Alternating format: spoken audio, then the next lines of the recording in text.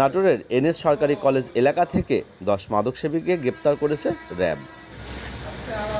RAB Natore ক্যাম্পের company commander ASP Masud Rana জানান, বৃহস্পতিবার রাতে এনএস সরকারি কলেজ মাঠ এলাকায় অভিযান চালিয়ে মাদক সেবনরত অবস্থায় ওই দশজনকে গ্রেপ্তার করা হয়।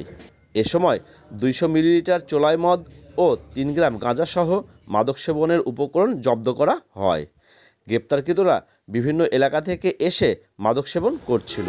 এ ব্যাপারে নাটোর সদর থানায় একটি মামলা রুজু করা হয়েছে বলেও জানান এই র্যাবের কর্মকর্তা। আলাফতাফ Khan Sweet, desk report, channel A news.